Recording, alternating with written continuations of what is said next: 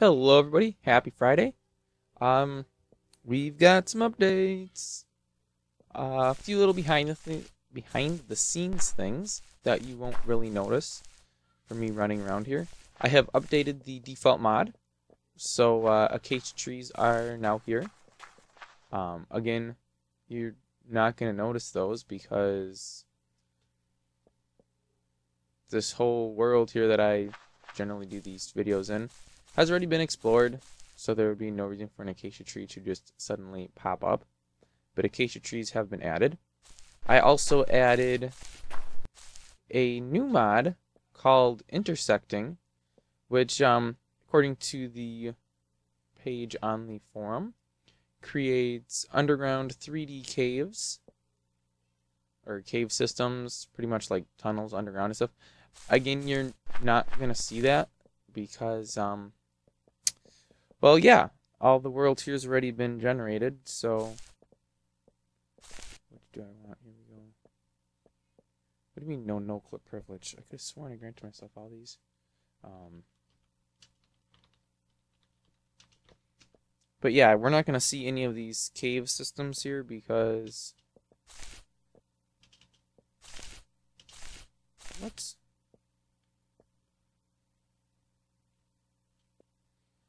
Okay, we should be. There we go.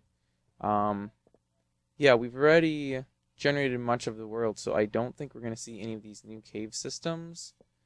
Here is something I found, but I'm not a positive if this is from the Valley map gen or if this is something from this new one that I've just added.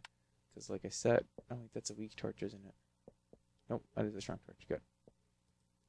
Because, like I said, I don't know. Uh, I feel like this already has been generated, so it probably isn't this new cave system. Um, it kind of looks like up ahead here, we're getting to a new map block. So I think right inside of here. Oh, hey, a goblin. Hi, buddy. Yeah, you're building, um... Oh, there's two of you. Nice, nice little thing you got going there. Um, okay, well, I guess that does not connect to this. This looks like we're actually in a dungeon. Nope, this isn't a dungeon. This is some kind of a cave. Alright, so this may be one of these new caves that have been added in. Kind of looks like a 3D noise kind of cave. Oh, that would hurt falling down in. Good thing I'm flying. So yeah, those are added. And I've got a feeling this is one. So it's kind of a... Wow. Sweet little new feature. Um, no longer do you have to dig super deep to get super deep. You just have to find oh, more goblins. Love it. You just got to find one of these underground cave systems, and telling you, you can get pretty deep and get a lot of decent ores without a whole lot of trouble. Okay, so let's go back up to the surface here.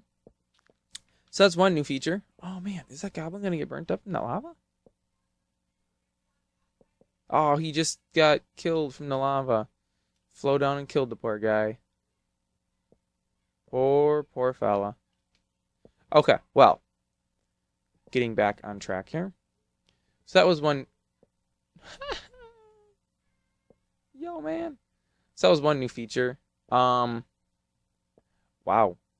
I don't know if I did this. Or if this is what the world looked like. I'm not sure where I am. Where is my house? I should really set that as a home location. Um, this way maybe? And I should probably turn fast move on if I can remember. There we go. Which key it is. Alright, I think. Here we go. Here we go. Okay, yeah, I don't know if that's my fault or if that's how that world out there looked. Whoa, whoa, whoa, a little too fast. Okay, because I added another new feature. Um, and this was something I did when I updated default updated the default mod. I went ahead and added in a couple ABMs. One of the tricks or not necessarily tricks, it's probably the wrong word. One of the things I have discovered while doing this is when you make changes to the actual mods themselves, it makes updating them in the future more difficult because you have to keep track of which changes you have made. So you have pretty much two options. Either you can just override things so you can still get the features from the other mods updates. And when you update them, your overrides are, you know, in a different mod that's not affected. Or you can put new files into those mods, which is what I did for default. So when the default mod updates again, I have a file in there in my local copy for this game here that is just called ABMs. That will never change from default because default doesn't have an ABM file, they have a functions file. So basically what I have gone ahead and done, and you can't really see it happening too much here, is I have added grass growth and grass spread. Now I took a look, and I could be wrong, but I didn't see anything anyplace in code that actually made the grass grow at all. To my knowledge, again, as far as I could tell, grass at places at random heights when you put it out, that I know for sure. But it looks like the stuff that naturally appears in the world just stays the same size forever. And why is this grass not swaying? It's odd, it's supposed to. Oh well, whatever, I'm probably just turned the option off. But anyways, what I did here, I made two ABMs. I did one for grass growth, so the grass will all spawn at number one from the first ABM. And then I believe every every 20 seconds there's a 1 in 60 chance that the grass will grow to the next size larger. I'm probably going to have to tweak those the um the chance and the intervals on both of the ABMs. And the other ABM I added actually just does grass spread. So basically what it does is any dirt that's in group soil which is great because there is a lot of those due to the trail uh, trail mod that does the different grounds when you step on it. Um, it basically checks if there is a neighbor of grass, and if grass is a neighbor of the node, um, I believe that one's every 20 seconds. There's like a 1 in 20 chance that the grass will spread, and it'll place grass at a size of 1 here, or, you know, any of the surrounding spaces. So, like I said, I've got to tweak these values a lot, I'm sure. What we're going to start seeing happening as the game is played more and more is grass will spread out. And instead of having just the green colored ground here and all of this ground that looks super walked on, which it is, um, we're going to notice that we're going to have grass that's shorter in places where it's walked on a lot before it turns to changing colors because when there's grass, when you walk on it, you change the size of the grass, but you don't affect the ground underneath it. So this, with time, will grow back to being green, and then grass will grow on top of it. Now, unfortunately, grass can still grow on top of any of these, which makes things look a little goofy when you have grass growing on them and the bottom still hasn't changed back. So I may need to change something in the ABM. I'm not like right here. We see a spot where grass has grown, but it's still a. I can't tell what node that is because I can't select it because of the bounding box here. But it looks like it's the grass with leaves texture, but it has grass growing on top of it. I potentially could add another ABM that would turn them back to grass immediately when grass grows on top of it. But that really wouldn't be the the feature we'd want, I'd be more preferable to have the grass grow back on the full grass and maybe on the, I think like this node here or this one here. I think that one, the first step that the grass takes to turn to dirt. And then these, the grass really shouldn't be growing on. But because I did just do it all as group soil, um, I really have no control over that. And my other option is to do a list of every single node that's dirt and then leave out like the trail, trail top, um, default dirt, and I guess trail walked on. Like those three should never have grass growing on them.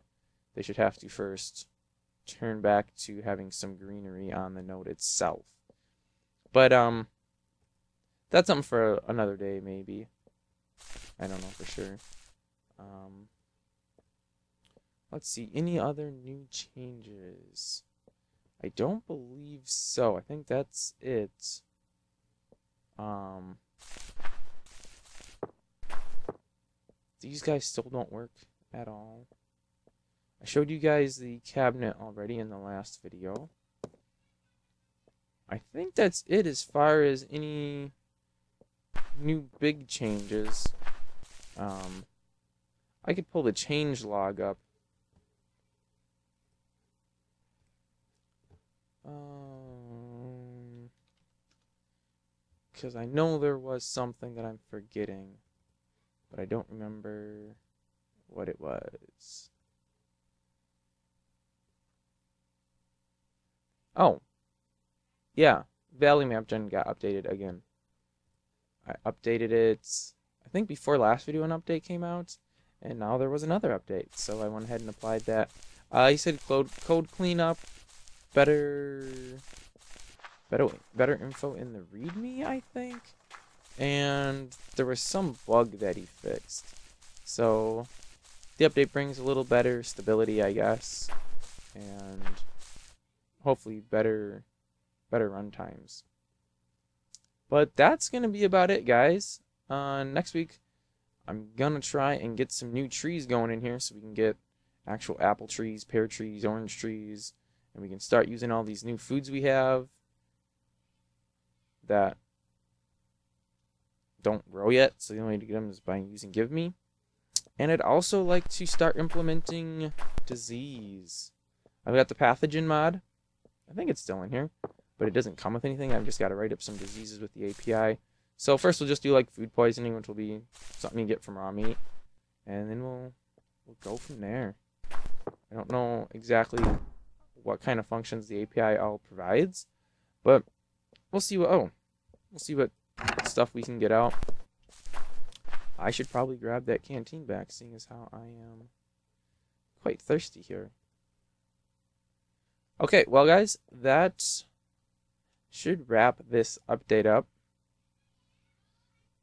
I will have the link for the subgame in the description, so you can go ahead and hop over onto GitHub and clone it or update, as the case may be. And yes, again, if you guys catch any bugs or problems, please let me know on GitHub and I will get those fixed as soon as possible. Thanks for watching and have a great weekend, guys.